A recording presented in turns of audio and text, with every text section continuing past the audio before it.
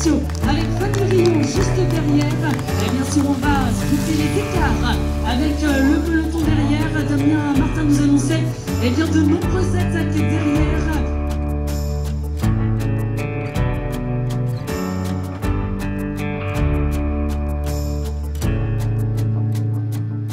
Bah, le chercher, mais on savait que ça allait être compliqué. Il y avait des grosses équipes face à nous, notamment la Bretagne et le Rhône-Alpes. On avait une bonne équipe, mais on va dire qu'on aurait peut-être préféré un parcours encore plus exigeant euh, pour moi et Jade. Et on s'est retrouvé un petit peu en contretemps au début parce que ben, la Bretagne avait souvent un coup d'avance avec le Rhône-Alpes. Heureusement, ben, on avait quand même une équipe euh, de Franche-Comté soudée et qui, qui, roulait pour nous ramener. Donc du coup, je me suis dit, il faut qu'on prenne les choses en main. Si la course n'est pas assez dure, ça sera notre désavantage, qu'on a quand même l'habitude de faire bah, des courses sur le tour plus longues et beaucoup plus costauds. Je pense qu'on a peut-être limite un petit peu trop attendu. Je commençais à me dire que c'était trop tard et que ça allait plus lâcher parce que bah, y avait quand même euh, du gros niveau aussi sur ce championnat. Et quand je me suis dit bah faut tenter, j'ai tenté, au moins tu n'auras rien à regretter. Comme je savais que j'étais une des moins rapides, j'ai attaqué et à vrai dire je pensais pas partir avec bah, les deux plus rapides du groupe. Et quand je me suis retournée, je me suis dit mince parce que bah, derrière euh, Jade va pas rouler.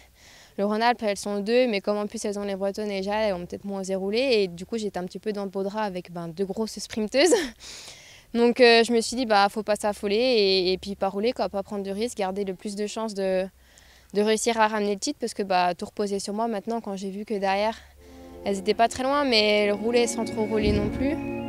Et bah, c'est sûr que les filles me disaient de rouler, mais avant, elles n'ont pas roulé non plus auparavant, ce qui se comprenait, hein, parce que Gladys était toute seule, pas trop Lucie, mais c'est comme ça. Après, ben, j'ai joué ma carte, j'avais quand même peur un peu euh, pour le sprint, je l'avoue, et je me suis dit, bah, est-ce que j'attaque, est-ce que j'attaque pas au pied de la bosse, comme c'est mon élément?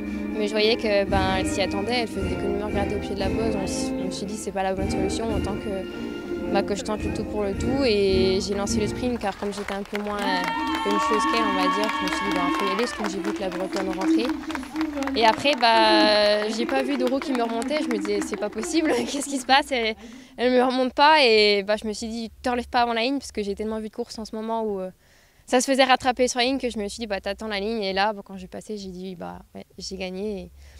Bah, c'est sûr que pour une fois on va dire j'ai fait la bonne stratégie parce que depuis que je suis minime cadette j'ai fait de nombreuses, nombreuses fois quatrième des championnats de France, alors qu'il y a bien des fois où je pense que j'étais peut-être la plus forte, mais stratégiquement, une course d'un jour, c'est toujours compliqué, sachant que bah, les Bretonnes ont toujours une grosse, grosse équipe et que les parcours ne sont pas toujours euh, bah, très, très exigeants. Donc euh, là, il n'était pas non plus aussi exigeant que par, que par exemple, Saint-Amand-Moron, là où j'avais pu gagner parce que c'était un petit peu plus dur. Donc, euh, fallait faire des choix et quitte à perdre, autant bah, tout risquer de perdre et pour pouvoir gagner. quoi.